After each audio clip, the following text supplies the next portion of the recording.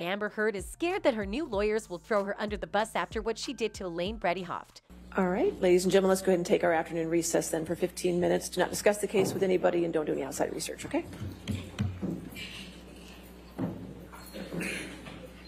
The actress fired her famous lawyer just after the defamation trial against her ex husband ended. It didn't end pretty because she didn't win, but that doesn't mean she should fire her best lawyer, especially when she's the only person who fought for her even after the trial. She's really desperate to win this. This also happened during the trial when she thought her PR team was inadequate, so she fired them. Amber split ways with her longtime lawyer, Elaine Bredehoft, and decided to hire First Amendment attorneys David Axelrod and Jay Ward Brown of law firm Ballard Spahr to lead her counsel. Dan Rottenborn will still be with her as well.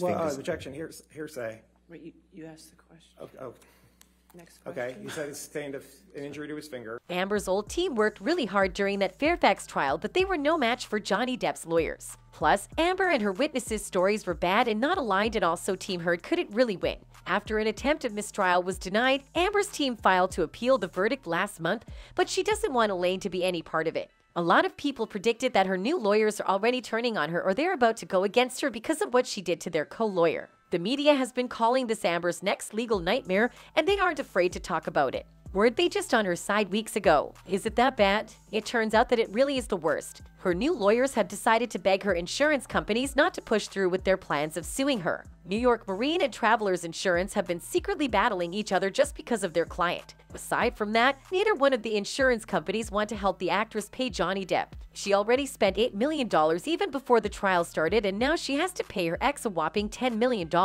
Her new lawyers aren't beating around the bush and told the two companies that their client is under a lot of stress because of what's happening. Apparently, she doesn't know what's happening between the companies, and her team is afraid that this will get worse if Elaine Bredehoft decides to unveil her deepest, darkest secrets. They're blaming the companies and are gaslighting them by saying that this shouldn't be how they treat their clients. We guess her new lawyers already know that she will drop anyone that doesn't make her look good, so they are just going straight to the point. Amber did change her lawyers quite a few times. She first had Eric George to defend her, who is actor Mel Gibson's lawyer, and then she had Roberta Kaplan, who successfully fought for equal rights in court. They're scared that the two might join forces with Elaine Bredehoft to talk about Amber. The internet is going crazy about this story. One person said, It's funny how she dug herself in a deep hole and now her own team is ramming her into it even deeper. She thought she would get away with playing a victim and blaming an innocent. All this is her karma, slow burning karma at that and not instant karma, while another person added she's getting deeper and deeper into debt when all she had to do was after receiving her 7 million divorce settlement. Walk away and enjoy her life, but no 7 million wasn't enough from Johnny, she wanted it all. She's brought all this on herself and why?